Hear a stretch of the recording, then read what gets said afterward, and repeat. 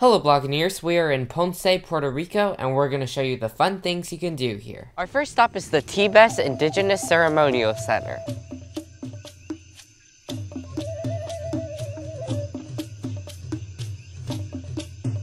These were the early colonial foods that the indigenous people ate. Here's cow moo, I mean here's cow, which is the same size as cow moo. They ate manatees too, which is kind of sad. They used to use this as a spoon. As you can see, they have this little thing as a handle. You'll be able to come in here, scoop out. And you, you can even put cow here and eat him.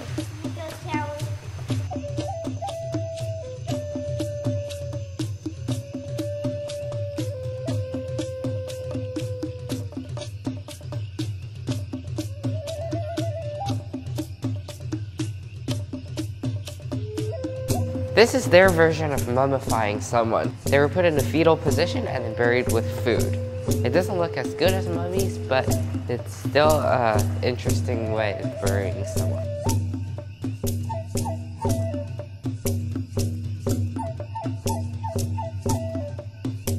This is the area where they found the artifacts that we just saw in the museum. The trees here all have fruits that the natives used to eat. This place was discovered in 1975 and the whole place was buried before that due to floods. Here there's some ruins with rocks, so this could be an area where they gathered. And here's our first real petroglyph. I'm picking up this fruit shell with a stick. It's like launching a cannonball.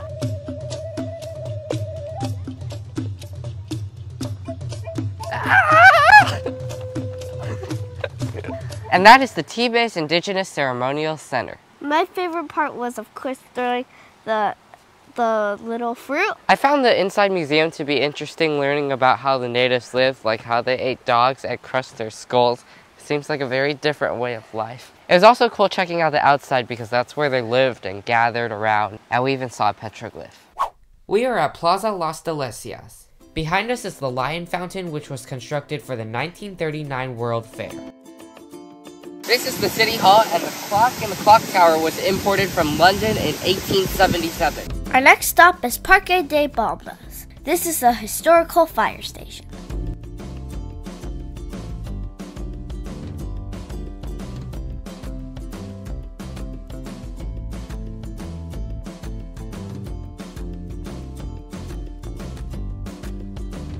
Here are some artifacts of old firefighter helmets. It says that the orange ones were used in the 1800s and then they shifted to the black ones for the 1900s. But when I think of firefighters, I think of them wearing red. A view of the town square. We're walking through town and we stumbled upon this free art gallery, the Ponce Cultural Center.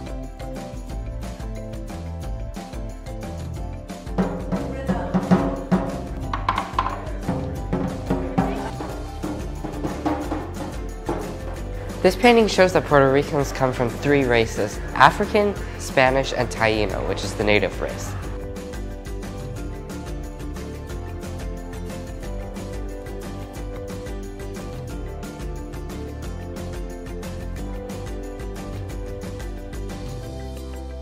We just took a picture with the artist and he told us that these pieces over here are his favorites. We're now in the art classroom. There's the teacher in the back and around him are artwork done by his students. And that is the Ponce Cultural Center. My favorite part was the drums. I like seeing the artwork in there, and we met the artists too. Some of the artwork was abstract, and others was more traditional oil painting. It's time to get some ice cream.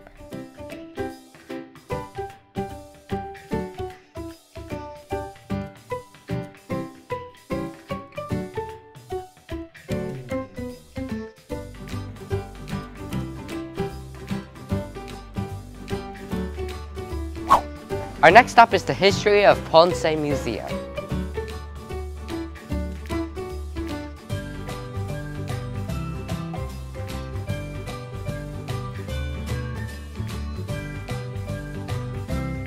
And that's the History of Ponce Museum. I didn't understand anything because it was all in Spanish, but the inside was nice. So I, I guess only come here if you know how to read the language. Our next stop is the Fox Hotel, and apparently they have an interesting lobby. Of the artwork here, I recognize Marilyn Monroe, but not the others. Oh, is that Presley? That's Presley. Frida. Wait, I thought Frida has a unibrow. And then I don't know who the smoker is.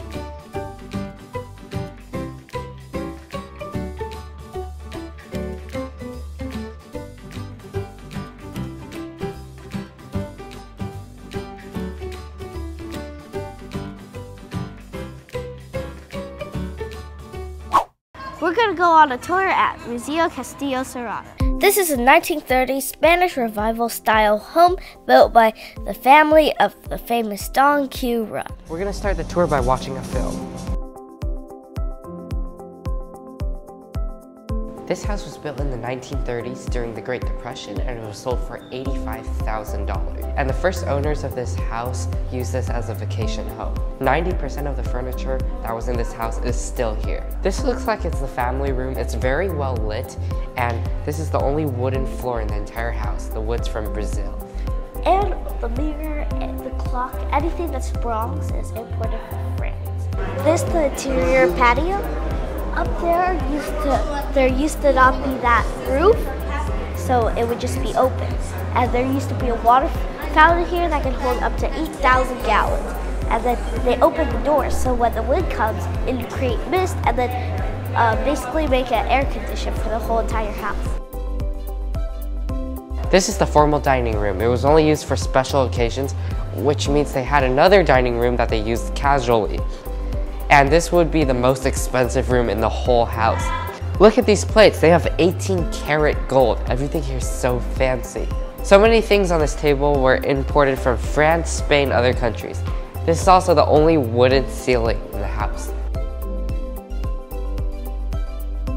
Here's the kitchen. They put foods that they would have eaten, like the coconut, bread, and then over here are many fruits and veggies.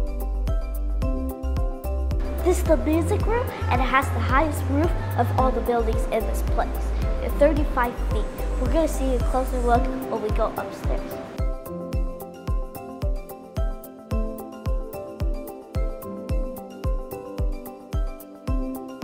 There were seven to eight bedrooms in this house, and this is the only one that's available on the tour. The bed and this dresser over here were imported from France. So many things in this home were imported from another country. This girl over here was the last owner of the home.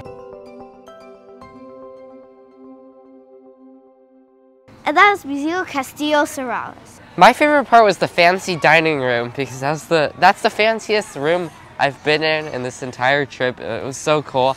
I also like the inside terrace part. It would be even better if they kept the doors open like what the homeowners experienced back in the day so all the wind could flow in with the fountain and then there's mist. That's just so cool to imagine. My favorite part is also the interior porch. I wish they kept everything as werewolf. That would be so refreshing. Oh, and I like the affiliation they have with Don Q, which is one of Puerto Rico's biggest rum companies, because the founders of Don Q lived in this house. Now we're visiting La Cruz de Vigía. The elevator's not working, so we're just gonna hike up to the cross.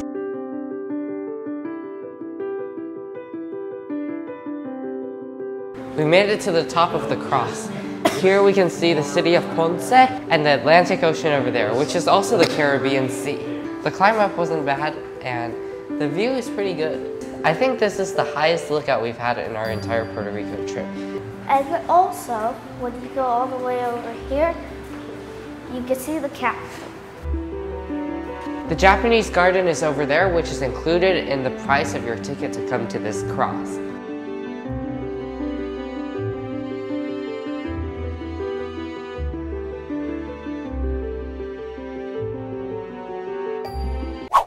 Now at La Guancha and we're gonna walk around the boardwalk.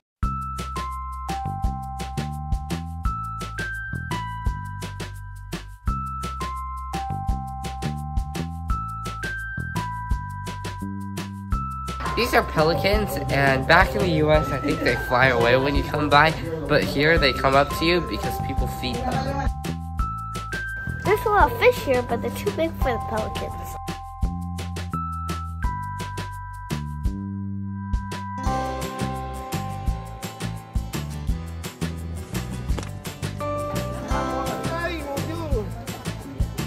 It looks like the boardwalk's closed, but we still had a great time here because of the pelicans. There was a guy selling sardines to feed to the pelicans for $1 a bag, and some of the locals bought it. The pelicans are so cute. They're like our version of ducks at home, but better. My favorite part was when the pelicans would go and waddle right on the uh, path. That's it. See you in the next video. Bye.